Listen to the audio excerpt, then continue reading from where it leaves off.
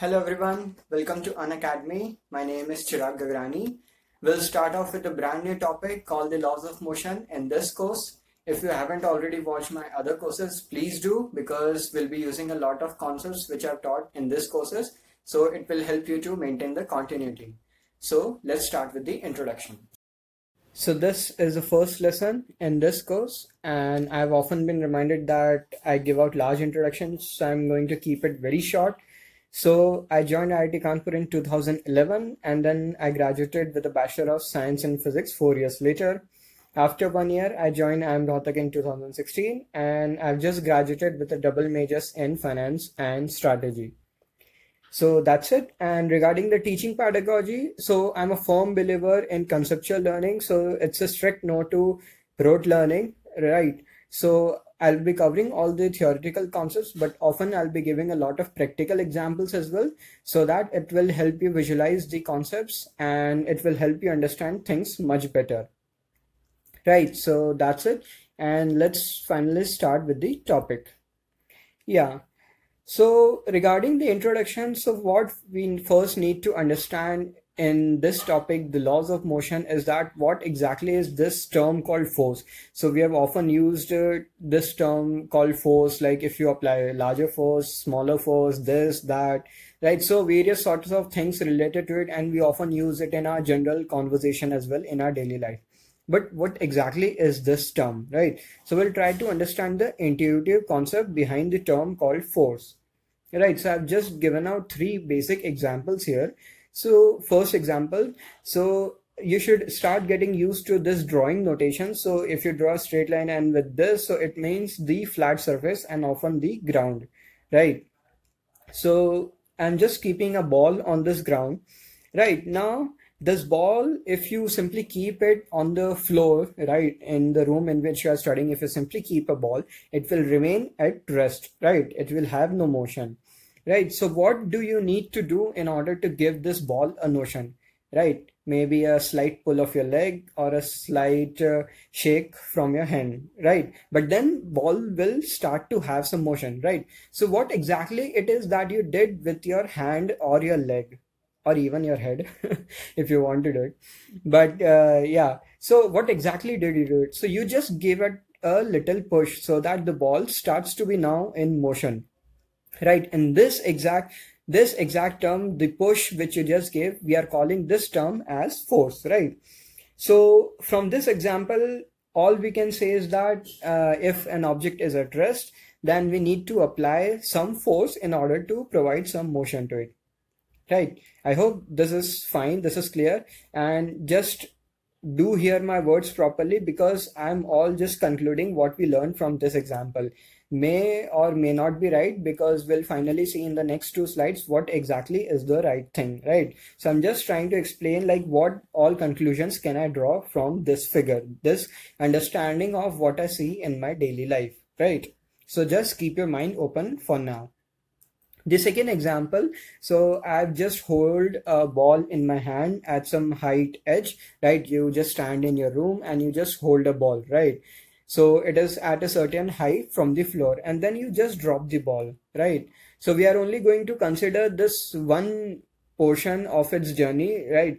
Till the ball, till you drop the ball and till the ball touches the floor. Of course, the ball will bounce back and then go again and then again and again and will continuously do, do to do so. But we are just going to consider the first journey when you drop it and then it reaches ground, right? So as soon as you drop it, so what is happening here? As soon as you drop it, it is under the influence of something, right? Can you guess it what? Yeah, exactly. Gravity, right? So the ball is under the influence of gravity. So gravity is doing something which is making this fall, uh, this ball fall to the ground, right? And uh, of course, the famous story, if you've ever heard, this is how Isaac Newton came behind the ideas of the mechanics by watching an apple fall to the ground, right? So all the gravitational laws were derived from that, but that's the thing for another chapter. What I'm just trying to tell you is that the gravity is doing something which is making this ball fall to the ground. And this something is exactly the same thing which you did here, right? So the gravity is applying some sort of pull or a force, right, which is also called the gravitational force. But for simplifying things, gravity is applying some sort of pull which is making this ball fall to the ground. If there was no gravity, like if it was space, right, so you can imagine it, if you were to leave this ball, then the ball would simply float here, right? The ball wouldn't go anywhere because there is no gravity in space to influence the ball but on earth it is there. So the gravity is again applying some sort of pull. And again this pull this term is called the force. So gravity is applying some force to push to pull this ball to the ground. Right? And and now the third case. Right? So so first and the third case are similar but just consider from your practical example right so just consider yourself standing in a football ground so if you simply kick this ball, right, so it will go to some distance and then it will finally stop. Right, this is what happens in your daily life, right? So no, no like scientific terms or no technical jargon we are using here, just using your practical life experience, right? So the ball will go some distance and then it will finally stop. Just consider now yourself standing uh, on an ice hockey ground and then there is also ball at rest. If you kick this ball what is going to happen? Right just you are giving the same amount of push you gave to this ball.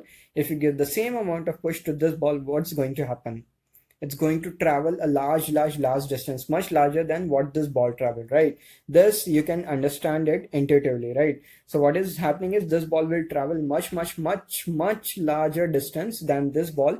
But again this ball will finally come to stop somewhere right? May travel like 100 200 300 meters more than this ball but finally it will come to stop right? So at least i hope the concept of this push in this case in these two cases or the concept of pull which we are eventually calling this a force right? So i hope this term is a clear so that you at least have a basic understanding of what the term force means right? And now we'll go ahead. So the Aristotle's law of motion, so this guy gave this thing way back like, I don't know, 200, 300 BC or something. Yeah, you can Google it to find out what when exactly did he give this. So what Aristotle said that after doing the same physical observations which we did, of course with different objects in those times, but what uh, conclusion he finally gave was that an external force is required to keep a body in motion. And actually this makes sense right? So this is far what we have drawn conclusion here as well right?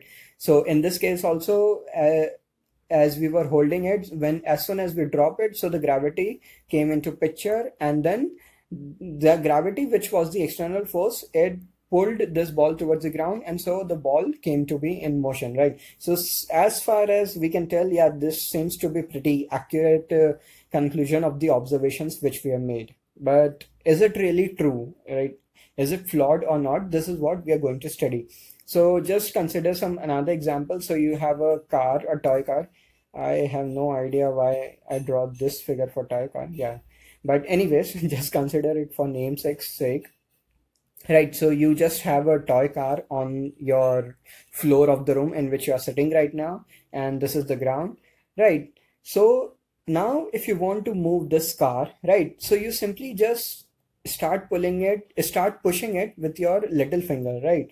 So let's just assume that this car is a bit heavy like uh, of mass of like 1 or 1.5 kg of course toy cars does not have that kind of mass but just for the argument's sake, just assume that this toy car is of like one, one and a half kg, and you start pushing it a bit with your little finger, only a little bit. So now you're giving it a push, right? You're applying some kind of force. But will the toy car move? With this little force. No it won't right? And of course from your practical exam experience you can say that yes the toy car isn't going to move isn't going to move forward. You are probably going to need uh, either your whole single hand or maybe even both of the double hands to push this car forward right? When you apply that kind of force with both of your hands then the toy car will definitely move on the ground right? So in the first case as well when you were just applying a bit of force with your little, little finger right. So you were applying the force but the car was not moving. Right. So this means even if you were applying the external force the body was not in motion. Right. So this statement is actually flawed. Right. But what kind of flaws are there? We'll discuss it all. Right.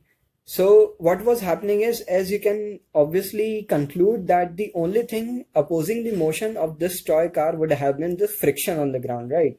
So we are not going to study like uh, static and dynamic friction right now itself and what those terms mean but just one simple thing called friction right? Of course the floor of your room is a bit rough and that friction is actually opposing the motion of this car but when you apply a large enough force then you are able to overcome that friction right? And this is why i gave the example of ice hockey ground as well. The friction on this is very very very much less right. So if the toy car was on this ice ground then maybe even with that little bit push of your finger you may have been able to move this car. Right. So what is happening is actually there is already a force acting on it the friction force right and which is opposing the motion. Right. So this statement is flawed that you need an external force to keep a body in motion. Right. And what is the correct statement is actually what was improved upon this concept by galileo several centuries after like galileo gave this in like 15th 16th century I don't know exactly. So he also made a lot of observations and as we have studied in physical world, like science is all about observations, theory, then observations, then theory, whether it is right or wrong. So he did the same thing as well. So just consider this uh, two-way inclined plane, right? So if you release a ball from here, it will go to here, here, here, here. And so after some time, like it will eventually come to a stop and this is precisely happening because this surface has a bit of friction so every time this ball is rolling forward this friction is opposing the motion right so if there was no friction and if you were to simply release this ball from this height right uh, so now consider this only one way inclined plane. And if there was no friction and if you release this ball from height the answer which should come to your mind is that this ball is going to travel infinitely right? Because there is nothing to oppose the motion of this ball right? There is no friction to oppose the motion of this ball. So why should it change its velocity right? As soon as it comes on this flat surface it will have some velocity right of course uh, you can guess it. It will have some sort of the velocity.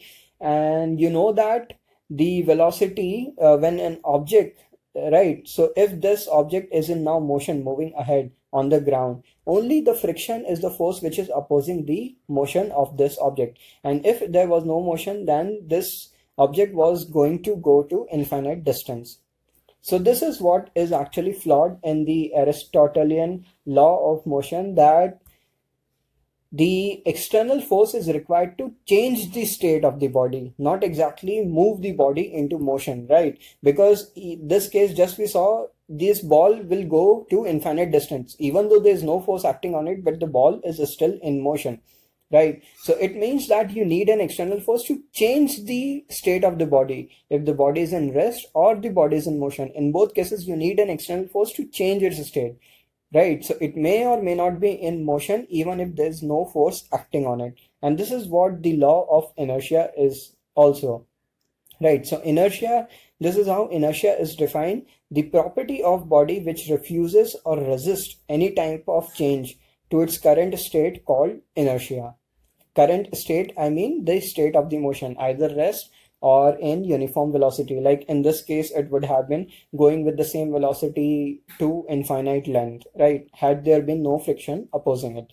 So this is what is called inertia right? So property of body which refuses to change any type of its motion of state either rest or in uniform motion. That is called inertia. So i hope uh, at least a little bit of these things were clear in the next lesson, I'll give you some examples and which will finally clear up the concept inertia for you. Right. So see ya.